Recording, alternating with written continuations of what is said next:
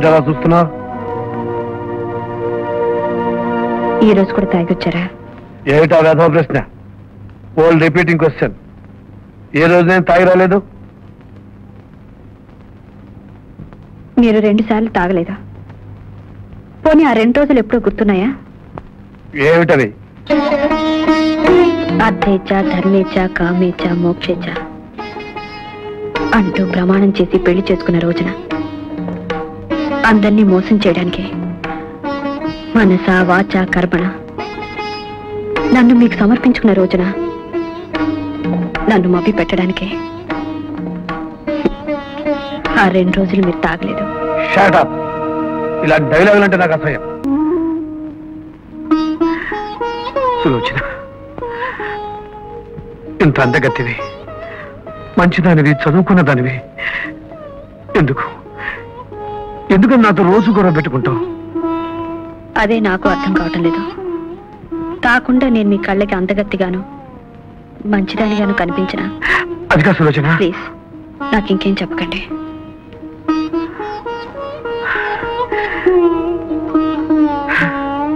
Good night.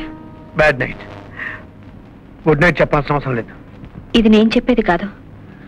కనీసం ఒకనాడైనా కన్న తండ్రికి మనసారా గుడ్ నైట్ చెప్తామని ఆశపడే అమాయకమైన మీ కొడుకుది.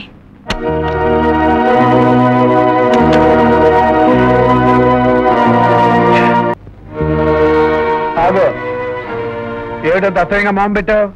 నేను తాగొచ్చానా నన్ను చూసి జాలి పడుతున్నావా లేక బాధపడుతున్నావా నీలాంటి మురుగురాల్ని పెళ్ళి చేసుకున్నందుకు నా మీద నాకే జాలేస్తాను నేను మూర్ఖురాలనా కాకపోతే ఏమిటి? ఆడవాళ్ళు ఈ రోజుల్లో దేశాన్ని పాలిస్తున్నారు. అవసరమైతే చంద్రమండలం యాత్ర కూడా చేస్తున్నారు ఆ స్థాయికి ప్రపంచం ఎదిగిపోయింది. అసలు తాగుడు మామూలు విషయం అయిపోయింది. అదేదో చారస్తంగా తీసుకుని మూర్ఖంగా మాట్లాడే ఇలాంటి ఆడవాళ్ళని ఏమనాలి? బుద్ధి జ్ఞానం ఉన్న వాళ్ళైతే ఆడవాళ్ళు అనే అనాలి. సులోచన. అవును. ఆడది చంద్రమండలానికి వెళ్ళినా ఒక బిడ్డకు తల్లి ఒక మగాడికి పెళ్ళం. ఆడది దేశాన్ని పరిపాలించిన మొదట ఆడదే చివరికి ఆడదే. చూడండి. మగాడు గడప దాటితే ఎంతో ప్రపంచం ఉంటుంది. ఎంతో మంది స్నేహితులు ఉంటారు. ఎన్నో కార్యక్రమాలుంటాయి. కానీ మా ఆడవాళ్ళు బ్రతికేమిటో తెలుసా? పంటలే మా క్లబ్బులు మా కార్యక్రమాలు. మాటల గారడి నీకు బాగా వచ్చని నాకు తెలుసు. ఇది గారడి కాదండి. నిజం. ఇల్లాలకుండే ఒకే ఒక స్నేహితుడు భర్త. మీరు గడప దాటి బయటికి వెళ్ళిన తర్వాత సాయంత్రం వరకు ఎదురు చూసేది మీకోసమే. మీరే మా ప్రపంచం. కానీ సాయంత్రం అయ్యేసరికి మీరు తాగొస్తారా? అదే అదే నేను అడిగేది. తాగితే తప్ప? అబ్బే తప్పు కాదండి. సాయంత్రం వరకు కష్టపడి వచ్చే మీకు ఆనందాన్ని కలిగించడం కోసం శుభ్రంగా స్నానం చేసి జడబరువైన మల్లెపూలు పెట్టుకుని ఎదురు చూస్తూ కూర్చుంటాం. ఎందుకో తెలుసా? మీ కౌగులింతకు పులకరించాలని మల్లెపూలకు పరవశించాలని. కానీ మీ దగ్గర చేరితే మాకొచ్చేది విస్కీ వాసన బ్రాండీ కంపు. ముద్దు కోసం మీరు మా మీద కుంగితే మాకు కలిగేది ఆనందం కాదు. చిరాకు. తాగి మీరు పిలిచే పిలుపు ఒక భార్యను పిలిచినట్టుండదండి. అవసరం కోసం ఒక ఆడదాన్ని పిలిచినట్టుంటుంది. అంతెందుకు? తాకుండా మేము మీతో చేసేది సంసారం. తాగి మీరు మాతో చేసేది వ్యభచారం! మనిషి నోరు ముయించగలరు? మీరు మగాళ్ళు కాబట్టి. కానీ మనసు నోరు ముయించలేరు. మీకు మనసు లేదు కాబట్టి.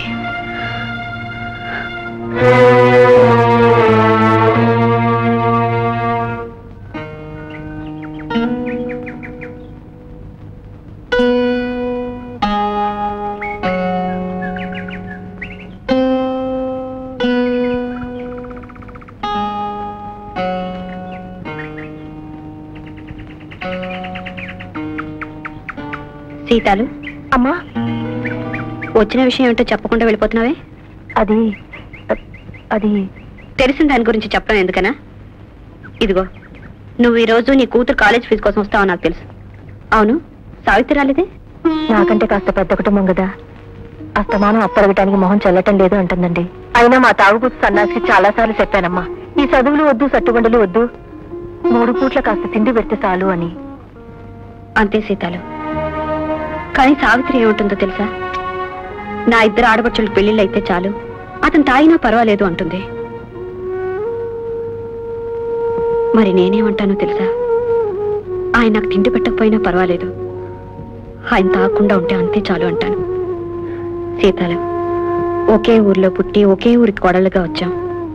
ఒక రకంగా మన ముగ్గురు బాధలకి తేడా లేదు. సరే ఇదిగో. ఇందులో రెండు వందలు ఉంచుకుని మిగతా సావిత్రికి ఇచ్చే. వస్తానమ్మా. అలాగే.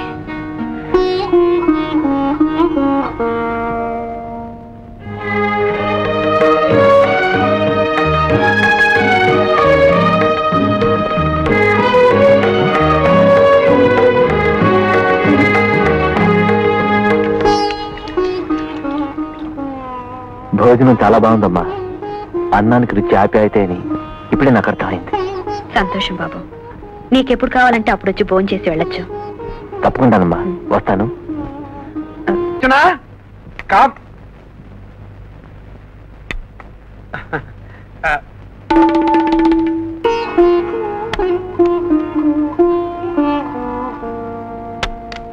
ఇంట్లో ఇన్ని కుర్చీలు సోఫాలు ఉండగా కింద కూర్చోవలసిన కర్మ నీకేం పట్టింది? ఏం మాట్లాడావు? నిన్నే అడిగేది. ఆల్ రైట్ నేను మాట్లాడకుండానే కాఫీ ఇస్తున్నావు నేను అడగకుండానే భోజనం పెడుతున్నావు నాకు కావాల్సినవన్నీ చూస్తున్నావు. మెనీ మెనీ థ్యాంక్స్ కానీ ఒక మగాడికి కావాల్సింది భారీగా నువ్వాల్సింది ఇంకోటి ఉంది. అది గుర్తుందా? అప్పుడు నువ్వు నాతో మాట్లాడపోయినా పర్వాలేదు.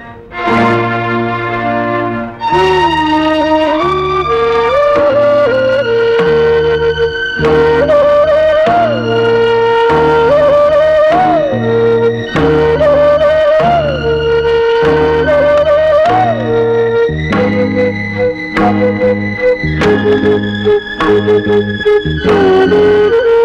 you.